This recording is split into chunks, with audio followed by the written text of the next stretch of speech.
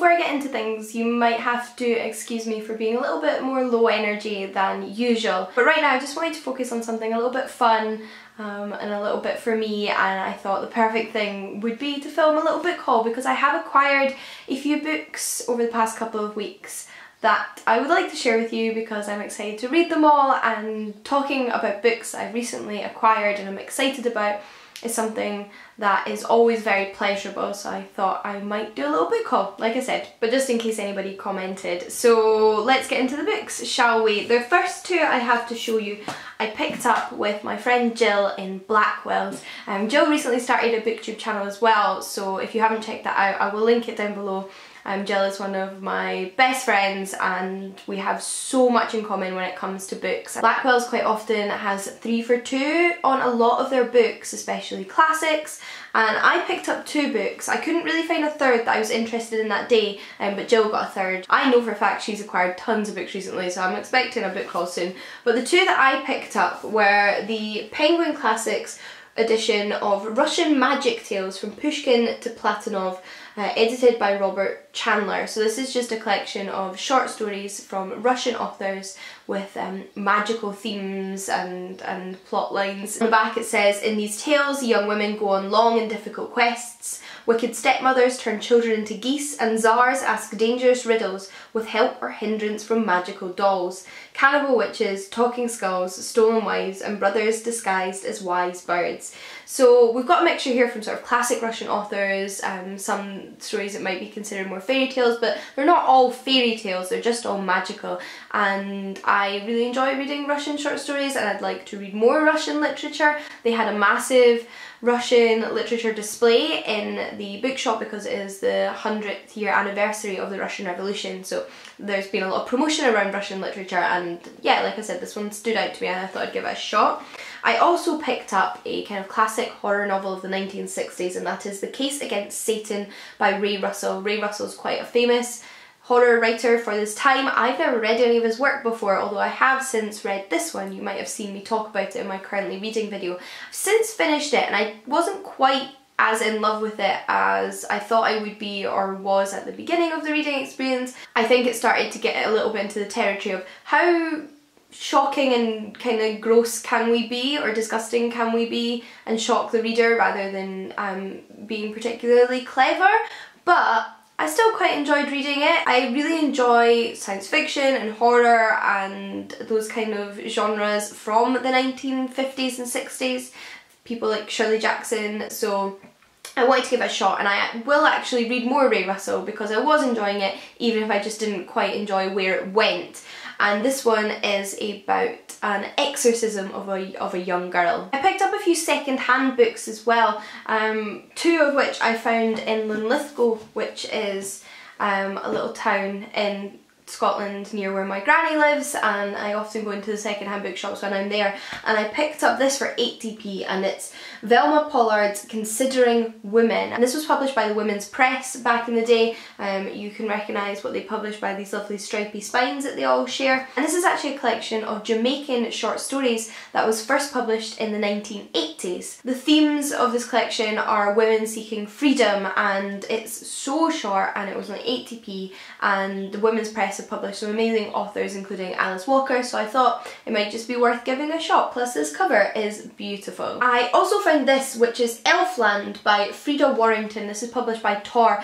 and look at this cover. Is this not just what you think of when you think of a fantasy novel? This is a fantasy novel cover and I had to pick it up off the shelf when I saw it. Because I don't know much about this one, I don't really know how to explain it, so I'll just read the first paragraph from the blurb, and that is, Rosie Fox is a daughter of Aetherials, an ancient race from the Spiral, the innermost realm of the other world, who lives secretly among us. Yet she and her kind are bereft of their origins, because on Earth, in a beautiful village named Cloudcroft, the great gates between worlds stands sealed. Basically about a kind of fae type people, or elf type people. I'd be interested to know if any of you have read this or anything else by this author. And lastly from second-hand shops I picked up The King Must Die, a novel by Mary Renault, author of The Last Wine, which is apparently one of her famous ones it says in the bottom.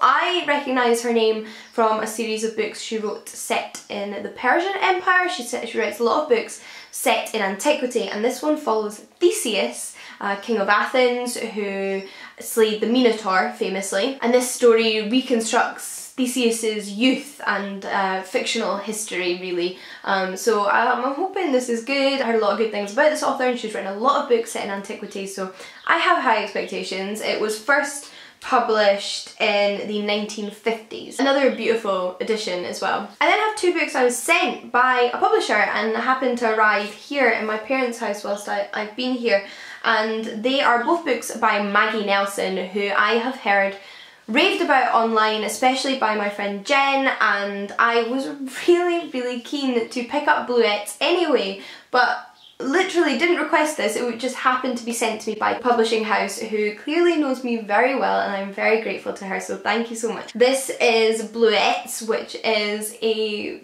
sort of non-fiction book going into the different images and manifestations of the colour blue and the history of the colour blue and people and things associated with the colour blue and what the colour blue means to the author. Sounds gorgeous plus gorgeous new edition. And to match with that I have the paperback of The Red Parts, an autobiography of a trial by Maggie Nelson. This is actually about a trial that was conducted to do with Maggie Nelson's aunt who was abducted. In 1969, Jane Mixer, a first year law student at the University of Michigan, posted a note on a student notice board to share a lift back to her hometown of Muskegon for spring break. She never made it. She was brutally murdered, her body found a few miles from the campus the following day.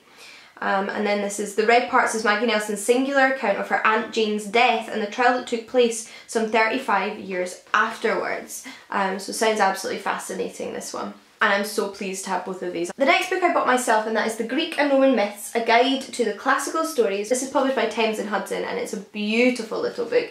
They have one of these, I believe, for quite a few different mythologies. So there's an Egyptian mythology, a Celtic mythology and a Norse mythology and those are all the ones I'm familiar with and they're basically just little introductions to these topics and they kind of, almost like a little encyclopedia, it goes through um, the gods, so you get a, a, little bit of background to the birth of Zeus, just a, a paragraph. Um, we have the, the war between the titans and the gods, another, just a little paragraph. Really, really basic stuff, encompassing a really broad array of Greek mythology, so a really good introduction to somebody that is very unfamiliar with the topic um, and is just looking for an overview. One of the things I really like about this book though, and was what particularly drew me to it, is that it has it has a lot of little sections like this which says later art and culture Prometheus and it talks about how Prometheus has um, kind of made his way into different periods of history in the art and culture. So we've got paintings from the 1500s being talked about. Not a lot of detail, but a really nice overview and a beautiful book as well. I was then actually sent another book that is about classics and that is Homer by Barbara Graziosi and this is just a lovely little book which is published by Oxford University Press all about Homer, the ancient Greek epic poet who wrote the Odyssey and the Iliad. In this book, Barbara Graziosi discusses the main literary, historical, cultural and archaeological issues at the heart of these poems and analyses the enduring appeal of Homer and his iconic works, so just sounds like a really nice overview of the poet and a bit of the history of the study of the poet. Um, there are people who think, say that there wasn't one man called Homer and perhaps the Odyssey and the Iliad were written by different people. So there's lots of theories surrounding Homer and uh, yeah, I'd be really interested to see what this little book covers. And lastly, another little book on a classics theme is the very short introduction to classical mythology by Helen Morales. This again is published by Oxford University Press. I picked this one up for myself though. You might be thinking, why, Jean? You know about classical mythology. Yes, I do know about classical mythology. But these books aren't just for beginners, they're for kind of everybody because they're points of thought, they're introductions to topics, they're overviews of their certain elements of a topic and like I said, just points of thought. So discussion and thought for anybody at any point in their study. And I actually am quite a fan of Helen Morales' scholarship um, and have enjoyed much of her writing in the past, so thought I would probably enjoy this little introduction to classical mythology. And like it says here, this imaginative and stimulating very short introduction goes beyond a simple retelling of the stories to explore the rich history and diverse interpretations of classical mythology, examining how myths are used and understood in both high art and popular culture. It takes the reader from the bedrooms of Pompeii to skyscrapers in New York and finds classical myths in a variety of unexpected places. So something I'm greatly interested in is what myths mean to people and the interpretations of myths and how myths are represented differently both in antiquity and in modern times.